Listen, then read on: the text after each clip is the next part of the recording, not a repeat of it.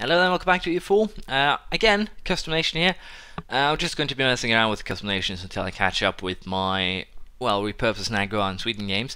And I might do a Spain game too, basically very soon, because there is a new setup, of course, with Conquistadors, with Treasure fleets and everything, so I might do something there. But as you can see, I've actually created a Aztec nation. Basically, the uh, the lands that are already there, I've uh, taken and created, well, turned into Aztec, which is uh, going to be interesting. Now, the goal of this game is just going to be mostly colonization, which is why I've started with a colonist and global settlement increased by plus 20%, the promise of land. So that is going to be interesting. We also have some army modifiers, some tags. These are basically just uh, randomized. I didn't bother doing much. I just tried to spend all of my points. Now, if you want to be Western in uh, North America, that is a 250 point deficit just to begin with. So uh, I did that, and uh, I barely my nation name is in use by another country.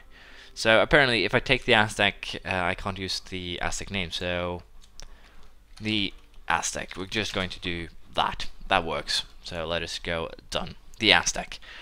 Um, I'll, I should probably bother an S, but or add an S, but I won't bother. We are an empire, and uh, we're going to invade Europe. That's the plan. At least, that's what's going to happen, most likely.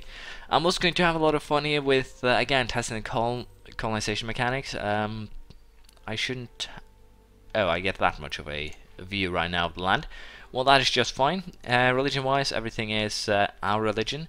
Uh, Culture-wise, things are going to be a little bit weird, but uh, pretty sure it's all the same. No, we do not actually accept these cultures, which means I should consider converting them, but uh, for the time being, there will be no such need. So what I'll be focusing on here is, uh, again, just colonization. I'll not be needing any troops back at home, more or less.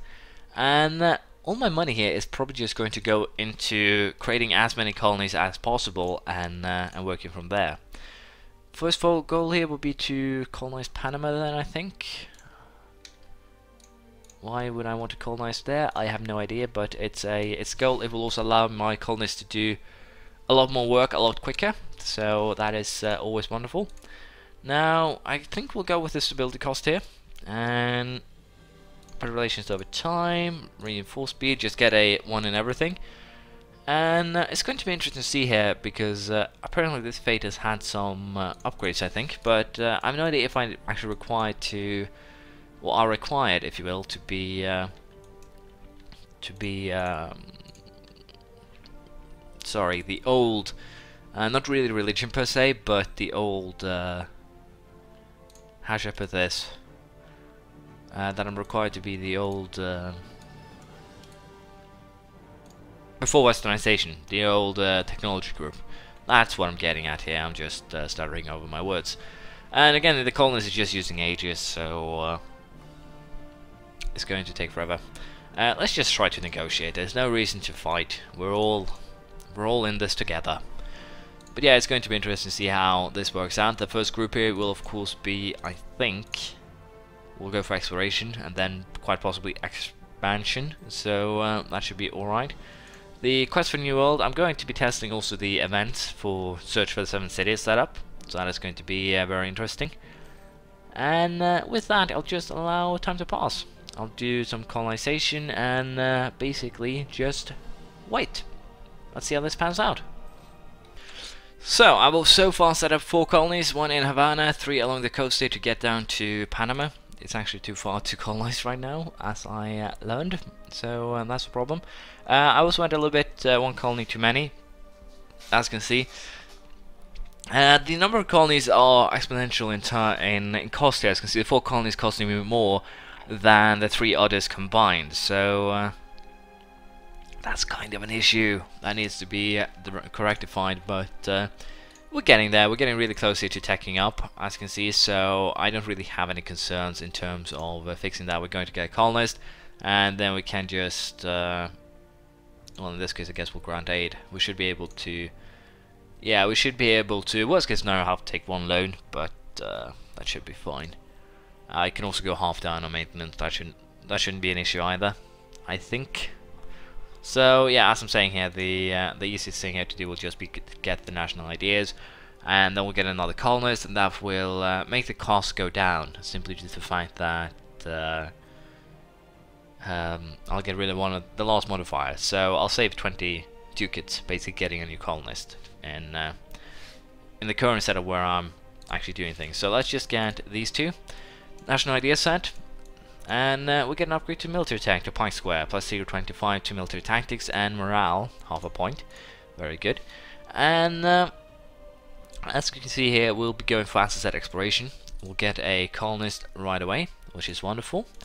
And with that effect from that colonist, as you can see here now, the cost is going down because we have now two colonists, which means that we have two colonists at the at the base cost which is uh, wonderful because that makes it a lot easier to of course make this work. So we're just going to send him to one of the current colonies because we need to save up money before we do uh, another outburst if you will. And again if for the time being we'll just go back to, to waiting if you will. We should probably also go ahead and focus on diplomatic power. And the reason is simple. First of all is we have the idea set but we also need to focus on diplomatic tech Diplomatic tech also do carry the nice little thing here. At level 10 you get plus 10, plus 15 etc to global settler increase. So if you focus on diplomatic tech as well then uh, things will be going uh, well rather alright in the future. So uh, for the time being I'll just continue colonizing. There won't be too much drama going on in the first episode. I'm just going to colonize. I'm just going to take the first idea set and uh, basically have a very good time and uh, get the Conquistador up and running pretty soon. So, uh, should be fun. There we go, we have the points required to take the uh, quest for New World. We'll do the just that. Allows recruitment of uh, explorers. And I'm a little bit unsure here. I might do have done something stupid. No, I can hire leaders. So let's just get a Conquistador. Let's put him in charge and...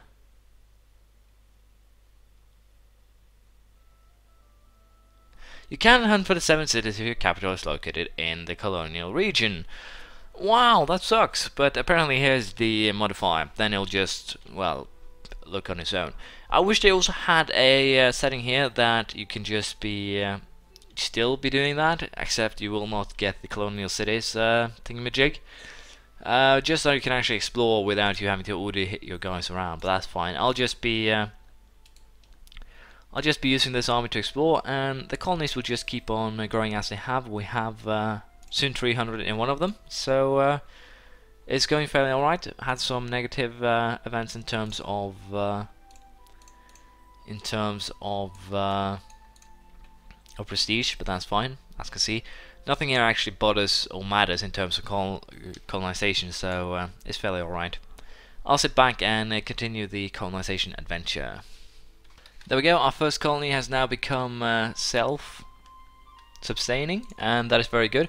We can also take an idea here that gives, uh, well, first of all, is the plus 10 to my army's morale from our set of ideas, but it gets plus 50% to my colonial range, which means that we can now reach, uh, well, we can now reach Panama. And with that, we're actually going to smack down two colonies. We're going to smack down one in Veraguas as well. The reason is very, very simple. By doing that, they'll first and foremost there'll be two colonies next to each other, so we'll not be getting a deficit from well being uh, well two colonies far from each other. But the only real negative thing here is, of course, the fact that if you do not colonize the province that you are next to, it takes forever to get there, over a year. So uh, that sucks, but uh, it's just how things are. We'll do upgrades to uh, both military and admin tech here. Military tech 5. Combat width increased by 2, infantry shock by 0.15, men-at-arms, longbow and galley infantry are now available, and we can build temples and constables from our other tech, but we're not going to upgrade our troops just yet. There's, uh, there's just no need, and by no need I mean if I'm really unlucky here the natives might screw me, but as you can see so far I've discovered most of the coast on the eastern side of uh, South America, so uh, I'll just continue down the well, western side here, and we'll see what we uh, what we figure out. And again, I've said before, but uh, this is basically just experimental. If you don't want me to continue these two games, uh, I'll probably just lay them dead and uh, and do so go back to doing achievements. Uh, but as I said, I'm doing the trying to get back to where I was with Nagaur and Sweden in the background while doing this. It's basically just so that you won't have to uh, watch me doing everything again. But if you want to, I can of course restart. I'm probably going to start later today, so give me some input there too if you want me to restart Sweden and everything in uh, in El Dorado or if I should just do what I'm planning here to do it quietly behind the scenes and then one day you'll have Sweden returns with uh, a ton of vassals etc just tell me what you what you feel like there and we'll see what we uh, what we end up with here. But for now I'll uh, leave things as uh, as they are. And we're currently losing money due to the fact that, again I have just too many cities but uh, I actually need to call these things. I completely forgot about that. But uh, on a positive note here we produce gold in uh, Mosquito so we're going to have a lot of money but we're also going to have a ton of inflation because we're getting 0.18 a year from a gold mine. So uh, I might get some very high inflation in this game just for just to test that out. I've never had a extreme amount of inflation, so I can't well, that as I said, I have. Global settler increase plus 20% or 20 people a year. This is going to be really helpful. And uh, next one, I'm just going to. Uh, this won't really help us at all. We don't really have any tariffs, at least so far. But uh, the colonist kind of thingy will be really, really helpful. We'll get a third, and uh, that's always uh, always good. So for the time being, I'll just leave you guys by. I'll uh, keep on colonizing. Uh, even if some colonies become full cities, I'll probably not show you because it's basically the colony has become a city. You get some gold, uh, or sorry, prestige. So um, I'll leave things as they are, and we'll see how this uh, goes. There we go. I have taken the global tariffs, or viceroys, sorry, before uh, before getting to you guys. But we do get an extra colonist now, and plus 10 to tax due to my idea choosing. But we get extra colonies from my exploration ideas here, and that is uh, that's fairly wonderful. Unfortunately, I can't hire a admin or uh, military guy because I simply cannot afford them, which is uh, fairly alright. Panama and a couple of others have been completed colonies now, and uh, funnily enough, with the uh, with the current setup of the third, uh, well, colonized here, I can definitely set up probably two more colonies from uh, the current setup and we are actually going to do just that. I just need to figure out where my well colonists actually are. There's one here and there's one here. This is almost a completed city so I'll just recall that guy, send him here to connect the lands if you will. And we should probably also do something in Havana pretty soon, just continue uh, well colonizing the Isles. And as you can see in terms of uh, conquistador work, I have most of uh, northern South America discovered. Uh, very easy to do so though, thanks to the enormous wastelands. So uh, for the time being, we'll just keep on doing what I have been doing, colonizing, uh, messing around, relaxing. Pick your uh, pick your pick your word, so to speak. And uh, hopefully here I won't end up in any troubles thanks to uh, thanks to the current setup here. But I do have a new mission to do some colonization, and this time it's as you can see here, Altagracia, which I have no idea where it is. So uh, let's just go ahead here and Google Alta Gracia, which is there. I need to colonize this province then, but uh, I said it should be fine. I have three colonists now. I can get one more if I if I want to. So I'm not concerned in terms of uh, being able to make things work here. Havana just became a full-fledged colony and with that we'll call this guy. We'll be sending uh, someone to Moron. And uh, I'll increase temps just to be safe. And basically I will keep on uh, keep on doing or working with the colonizations. Unfortunately the islands take forever though so I might just do the land first and then do the islands later. But uh, they're also just so valuable most of these that I kind of want to secure them before any potential Europeans show up. Although by that time I should be more than capable of uh, well fighting of Europeans but uh, that's another that's another story for another day if uh, if you will. But uh, yeah for the time being I'll just keep on uh, keep on colonizing here and uh, we'll see how things pan out. And but I'm going to actually end it here. So if you want me to continue this tell me. If not I'll probably go back to as doing achievements but I think it could be fun to just do a kind of Crusader 2 premise, a well, Aztec invasion kind of thingy. We'll have to see how this actually works out, if it's actually something that I can pull off. But uh, it looks interesting from my point of view, so we'll see. Thank you for watching. Please leave a comment, praise, criticism, anything you feel like, and I'll see you around next time. Bye.